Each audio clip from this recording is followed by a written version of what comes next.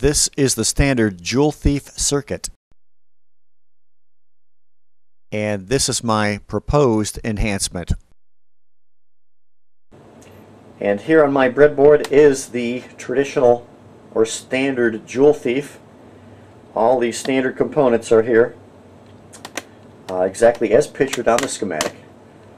And the uh, traditional bifilar wound toroid coil and it's being run by one and a half volt battery.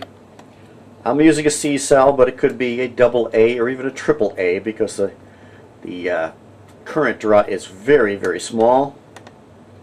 So what I'd like to do for you is to light this thing up, connect the battery. And right now the capacitor is out of the circuit, so it's a traditional Joule Thief right now. What I'm going to do is tilt it on its side to point the light right at the milliamp meter so you can read the milliamps and also see how bright the LEDs are reflecting off the meter.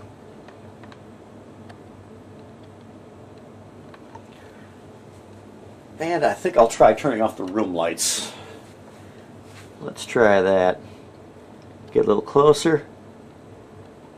Okay, the shadow may fool you a little bit, but I can see that that's 80 milliamps. The capacitor is not in the circuit yet. I'm going to flip the switch and put the capacitor in parallel with the resistor that controls the voltage to the base of the transistor. And I don't know if you can notice the increase of light as well as a decrease of amperage being put into the circuit. So without the capacitor, the light is slightly dimmer and it's using more energy to run. With the capacitor, slightly brighter, using far less energy. It's reading 50 milliamps instead of 80. So that's a big reduction in power and even gives you better light.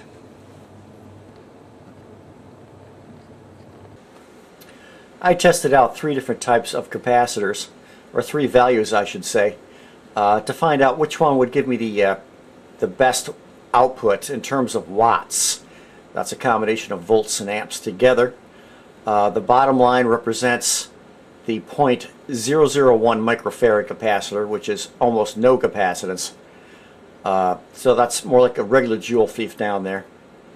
Uh, the pink line, middle line, is a 0.1 microfarad capacitor, and the uh, the wattage output was much greater than uh, a normal Joule Thief. Line up on top, I tested it out, uh, one microfarad capacitor. As the uh, amperage uh, increased going in from the 1.5 volt battery, the voltage and amperage went up to a certain point. Then the wattage actually collapses a little bit. Now all these uh, values uh, were measured with no load. So these are no load measurements. Uh, so under real load, you might have to pump in like 80 milliamps to get to this peak. Okay, I just want to mention that. Uh, so I do get more wattage output uh, with a 1 microfarad capacitor. It worked the best for me. Uh, I also want to mention though, uh, with all the capacitors, the voltage went up pretty smoothly as you increase amperage going in. Uh, the capacitor was changing mostly the amperage output. As amperage, amperage went in, the amperage amount of input increased, uh, so did the amperage output until a certain point, and then it tapered off. So that's all reflected in the watts output over here in the big graph. So my 1 microfarad capacitor in parallel with the resistor going to a base of a transistor is my best choice for getting a, uh, an LED light to be as bright as possible with as little input power as possible. Ron out.